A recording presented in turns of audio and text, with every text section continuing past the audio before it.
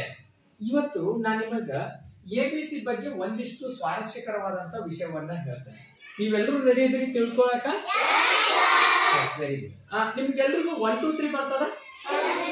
Okay next A B C D ಬರ್ತಾವ? Yes ನಮ್ಗೆಲ್ಲ ಅಲ್ಫಾಬೆಟ್ಸ್ಗಳು ಗೊತ್ತದಾವು ನಂಬರ್ಸ್ಗಳು ಗೊತ್ತದಾವು. ಆದ್ರೆ ಇಲ್ಲೊಂದು ಸ್ವಾರಸ್ಯಕರ ಹೇಳ್ತೇನೆ ನಿಮಗ. ಎ ಬಿ ಸಿ ಡಿ ಈ ಅಲ್ಫಾಬೆಟ್ಗಳು ಒಂದರಿಂದ ತೊಂಬತ್ತೊಂಬತ್ತರವರೆಗೆ ಒಂದು ಸಾರಿನೂ ಬರ್ಸಿಲ್ಲ.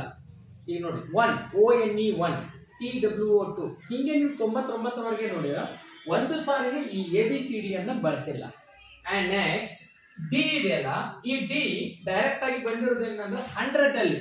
ಹಂಡ್ರೆಡ್ ಹಂಡ್ರೆಡ್ ನೀವು ಬರೆಯುವಾಗ ಏನಾಗ್ತದೆ ಅಂದ್ರೆ ಡಿ ಬರ್ತದೆ correct yes in next very important ಏನಂದ್ರೆ, ಒಂದರಿಂದ ಒಂಬತ್ನೂರ ತೊಂಬತ್ತೊಂಬತ್ತರವರೆಗೆ ಎ ಬಿ ಸಿ ಒಮ್ಮೆಯೂ ಬಂದಿಲ್ಲ.